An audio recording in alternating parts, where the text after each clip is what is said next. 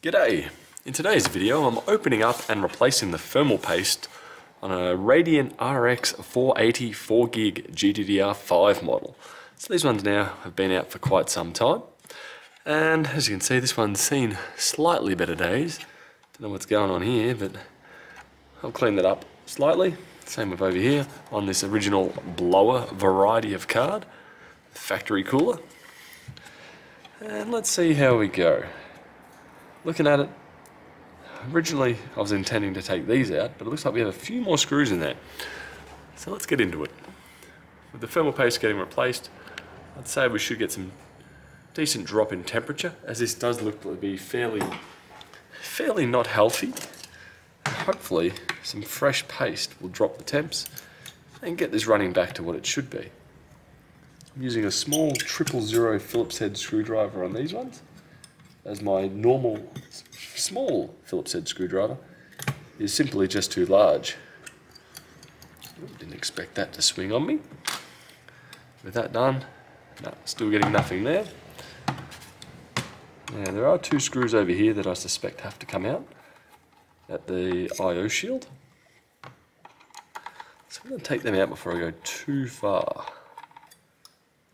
sure if that's going to take off the shield or it connects to the bracket. Next up from here I'm going to take out these variety of small Phillips head screws that I can see. This may take a little bit of time.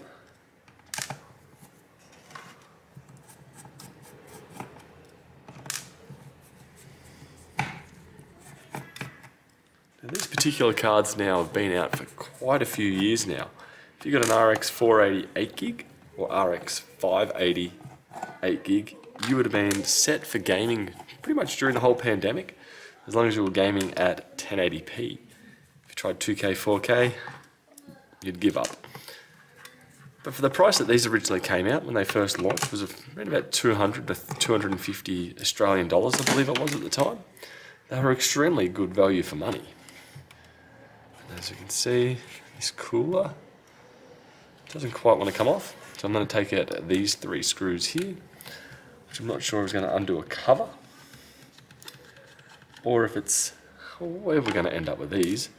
But they're there, we'll take them out. Let's see what happens. As I was saying, pre, pre-pandemic, these were a very good card of value, quite similar to what the RX 6600 XT is right now at the moment.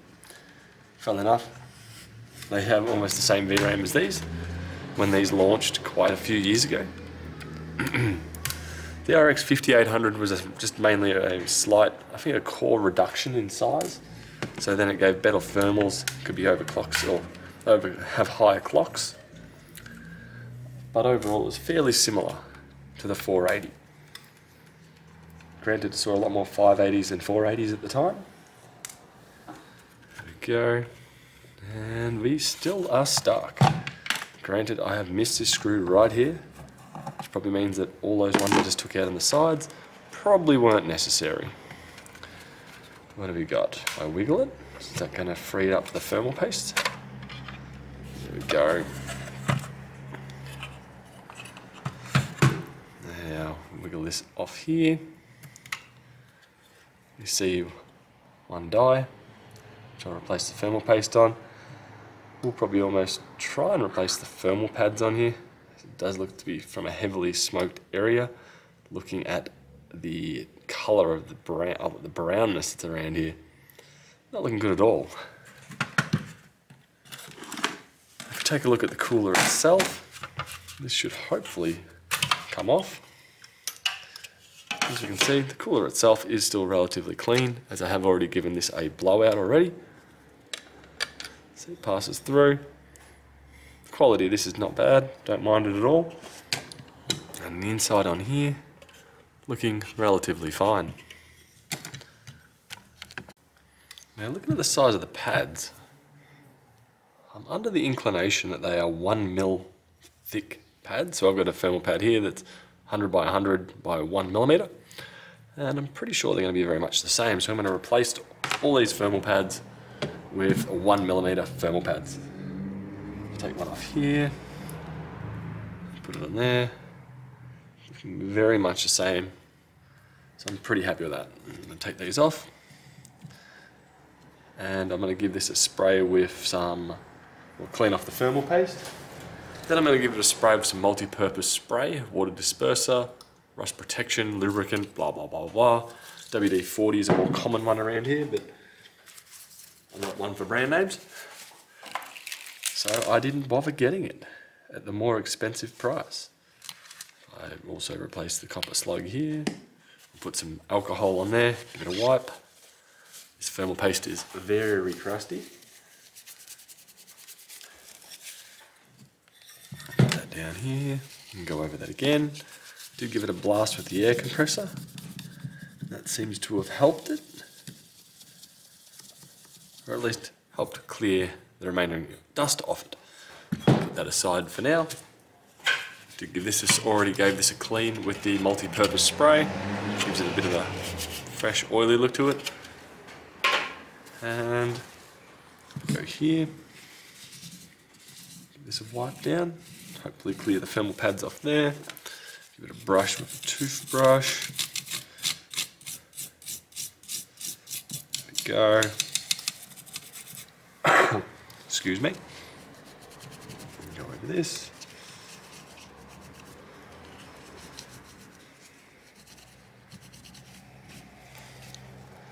Some more alcohol. Of a brush.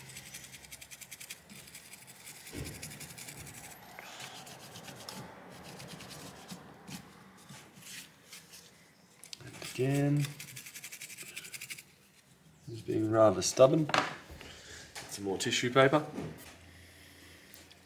Once I've cleaned the thermal paste completely off, then I'll give it a spray with the multi-purpose spray again, give it a blast with an air compressor, give it a clean with the toothbrush all over, and this should hopefully get this looking relatively back to factory.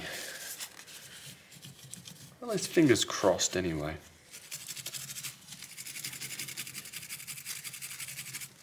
how I acquired this. This was a trade-in towards an RX 6600 XT, which is my current budget go-to graphics card for most people. Some people say they want ray tracing and whatnot. Ray tracing, unless you've got DLSS enabled, I don't believe it's still anywhere near what it was advertised right at the very beginning, back at the 2000 series chips. Or I may just be a hater of the ray tracing. It's probably another way, another way to skew that. Last little bit's being very stubborn. Um, I'm just lightly dragging that screwdriver over it. Don't really recommend it. There we go. So now from here, give this a spray. And on the other side too. And then give it a scrub with the toothbrush and give it a blast with the aircon. Oh, not the aircon. Give it a blast with the air compressor. At whatever maximum PSI it has, clean this off. Hopefully, after that, we're looking relatively new once more. At least that's what the aim of this is going to be. After a bit of a spray and a wipe, Thermal paste didn't quite fully leave. We'll clear up the last of that now. And next up I'll be cutting up some thermal pads to replace the existing ones.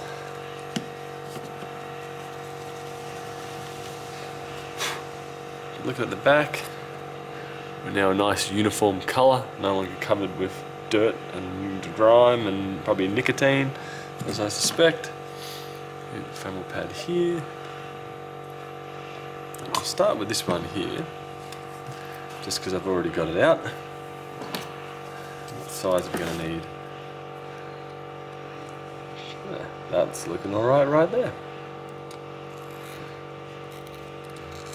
there go, that to replace the existing one here. Go, take that off. Take these off too It Does look like there will be eight of those. One, two, three, four, five, six, seven, eight. Assumably five 12 meg each go along here. Yeah, we'll give this a quick spray as well.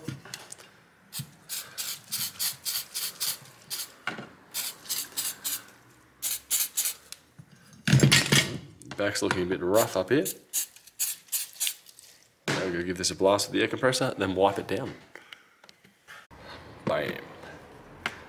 Now, with my needle nose pliers, pair of scissors, and some hopes and dreams, I should be able to replace this thermal pad.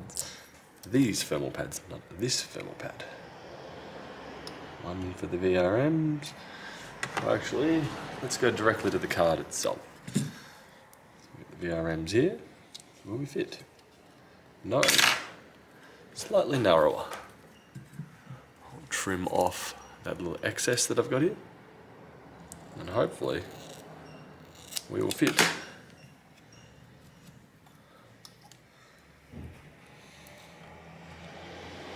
That down a little bit.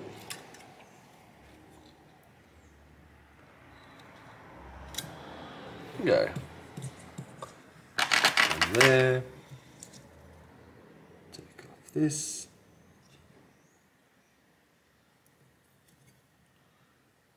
Make sure you take it off on both sides, else you'll have a very unhappy VRM or memory. With that screw kind of overhanging there.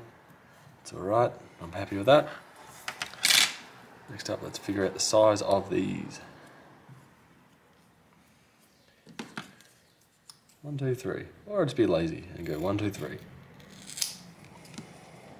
Like that. Could do them individually. Or do them as a trio.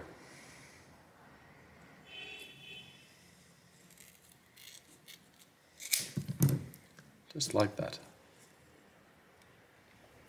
And individual ones down here. I'm just going to go one. And I'll cheat and just go half and half. There. One there.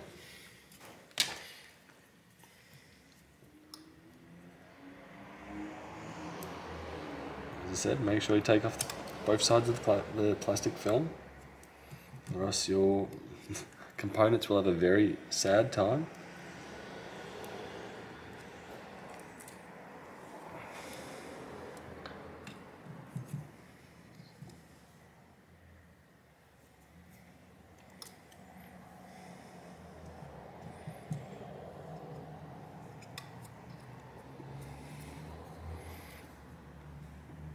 And right now I'm just taking off one side only. Think I'll put the thermal paste down and then take off the other side. Then from there I'll go ahead and reassemble. Fingers crossed I've still got some thermal paste left. Um, what have we got here? Okay, there's some thermal paste.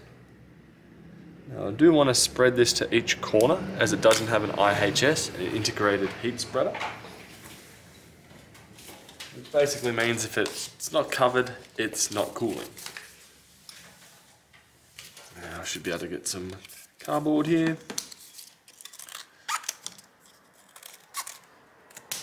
There we go. And I should be able to slide that over. Evenly spreading that out. Go.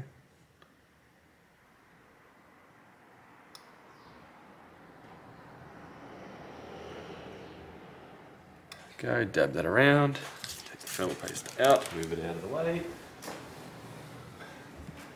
Oh, I'm pretty happy with that. Somewhere online, someone's raging at that amount of thermal paste. Too little, too much, your choice. I'll take these thermal the plastic strip or the plastic film off the thermal pads. This one's trying to rip on me. I'm okay with accepting it ripped. Mainly due to the amount that I've got left. Do want to use that on other things eventually. Uh, here I could probably cut that little bit off rather than having a bit of dag hanging over the side. go.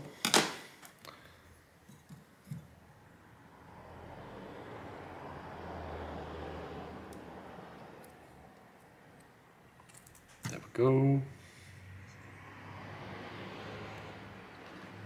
And bingo. Next up from here, I'm to line this one up. Where do we go? Above? No, not really. Line it up. Drop it down. Connect up your fan header down here. Push, push. Next up we got the cooler. The slug. Line that up. If I can get the arrangement of it just right. There we go.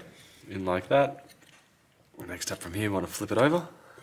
I'm just holding it loosely together. Uh, I do want to put some of the screws in. Where are we?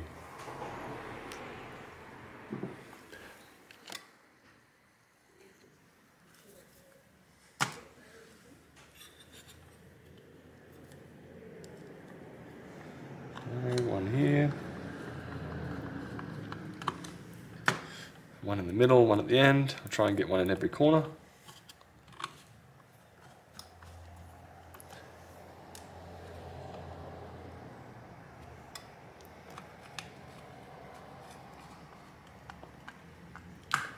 Now I still haven't put the cover back on, but we will get there. This should be right to go on last, being it's only held in by the six screws.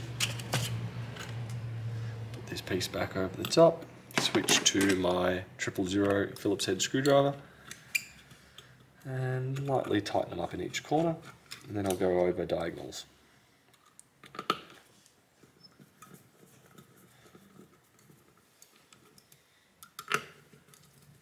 Go tight, tight, tight, tight. There we go. Now we've got six screws to put back in here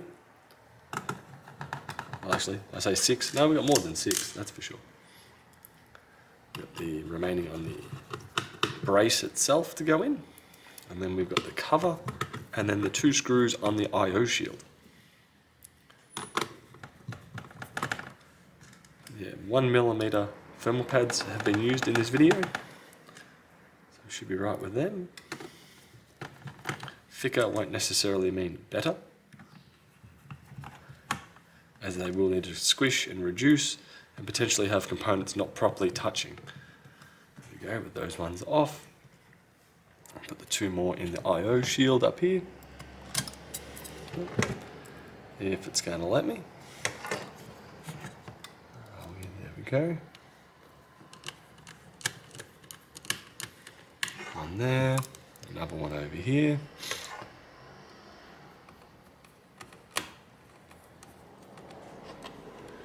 Then we've got the cover to go on.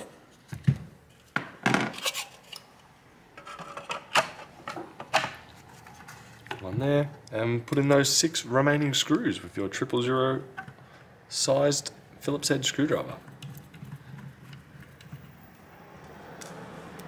And hopefully from here you'll have a good drop of thermals on your fairly old RX 480 or, or 580 or 470 or 570.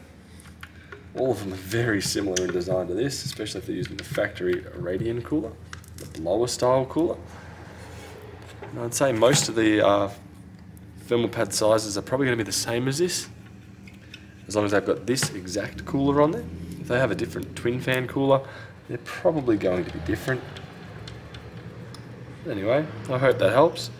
Hope you're able to lower your temps, reduce your noise, clean that dust enjoy. And I'll see you guys later. Bye.